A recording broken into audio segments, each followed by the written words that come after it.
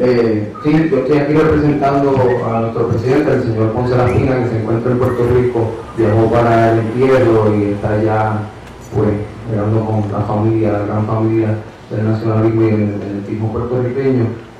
Eh, quería, yo no sabía qué iba a decir, pero como sí mencionar eso de los compañeros que se desaparecen por 20 años y después vuelven, eso, eso es bien chévere, una chulería que uno vea a la gente y miro así, otra esta gente junta como lo vimos allá en la, en la marcha, y qué chévere, no se alegra, pero a mí más me da tristeza, porque alguien hizo una comparación el otro día, un compañero de los músicos, me dijo, esto es como un velorio, eh, uno, en la boda y el velorio, uno ve la familia, y eso es triste, no debería ser así.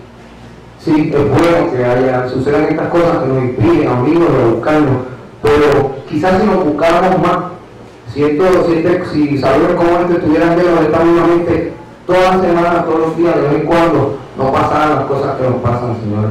Porque si estuviéramos más unidos, y, y ese, ese, es el mensaje, no, la unidad, eso es lo que nos dejó Filiberto en su último mensaje, la unidad, la unidad que ser algo permanente, constante el nacionalismo, como yo practicamos nosotros, ese culto a la cultura, a la nación, a todos esos denominadores comunes que nos unen como pueblo.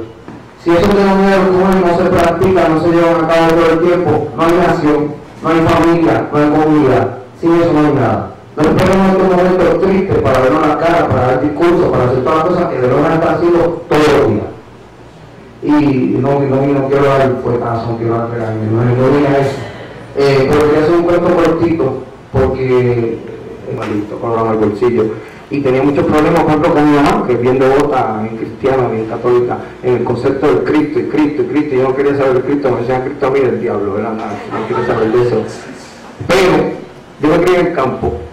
Mi papá tenía cabros, lechones, entonces a mí me tocaba por ser quizás mayor y los hermanitos míos eran más chiquitos, no, no, se, se, salvaron de muchas. Me tocaba estar pendiente a a los cabros de papa.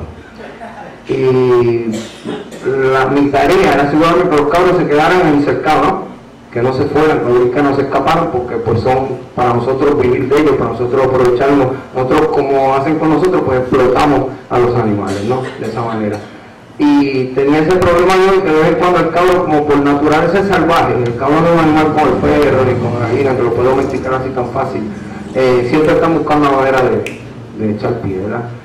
Pero como aprendía uno desde chiquito, el cabrito hacía, lo tocaba, mis hermanos y yo y mi hermana jugáramos con ellos, le dieron de comer de la mano, pues se ponían bien mancitos. Y la mayoría de ellos bien fácil, bien mancitos.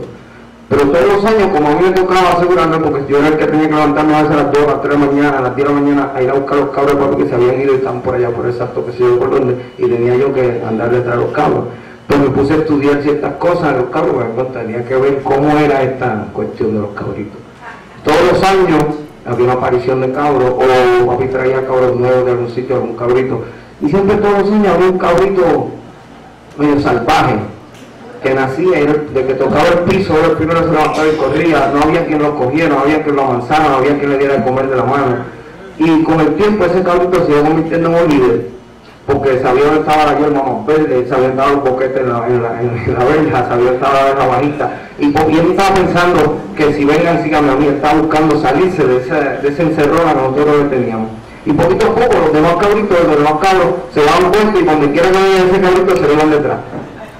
Y cuando venía y se escapaba y cuando ya dejaba que no estaba amando a la mamá y eso se iban y yo tenía obviamente que levantarme, ir a buscar a los cabros, también descubría que lo que había que coger ese y traerlo los demás seguían detrás y obviamente como agente de represión que yo era los cabritos, mi labor era decirle a papi, ese, a ese que nos vamos a comer ese café porque me está jodiendo la vida.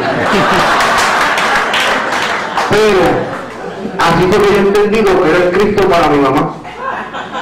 Que ese cabrito que nacía, y yo digo ese porque era mucho, porque todos los años la música lo traía uno de un sitio, era el mismo. Para mí no hay ninguna diferencia, era el mismo cabrito que venía a la vida todos los años o cada vez que aparecía viviendo un cabrito salvaje de eso. Y así aprendamos a ver a esos cabritos salvajes o al Cristo, como usted le quiera llamar, al Buda, al Espíritu Santo, yo no sé cómo, cómo le quiera llamar usted, aprendamos a verlo, pero si no estamos juntos, no vemos esos cabritos, no sabemos porque están por ahí solos brincando verlas y nosotros no estamos viendo, y cuando los vemos brincar nada tenemos tanto miedo que no le seguimos detrás.